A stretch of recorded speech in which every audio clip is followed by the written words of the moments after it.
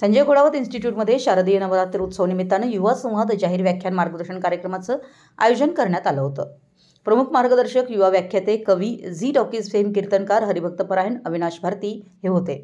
यावेळी संजय घोडावत इन्स्टिट्यूटचे संचालक डॉक्टर विराट गिरी यांनी अविनाश भारती यांचं स्वागत करून कार्यक्रमाचं प्रस्तावित केलं.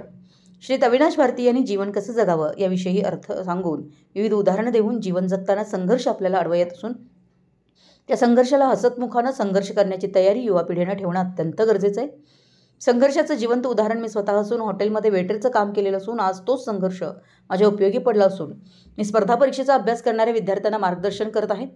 अंतरी भावना प्रबोधनाची संत परंपरेचा प्रबोधन वारसा सक्षमपणे चालवत तरुण कीर्तनकारानं नवीन वाट अवलंबली. अध्यात्म आणि सद्यस्थितीचे दाखले देणारे त्यांचे व्याख्यान विद्यार्थ्यांचं मनपरिवर्तन करण्यास उपयुक्त ठरणारं होतं.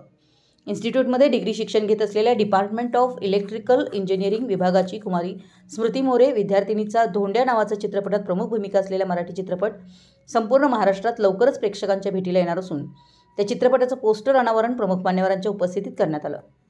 कार्यक्रमाचं सूत्रसंचालन आणि आभार प्राध्यापक सुहास पाटील यांनी मांडले. युवा संवाद कार्यक्रम संजय घोडावत विद्यापीठाचे अध्यक्ष संजय घोडावत विश्वस्त विनायक भोसले यांच्या मार्गदर्शनाखाली पार पडला. मराठी एस न्यूजसाठी जयसिंगपूरहून संदीप अडसूळ.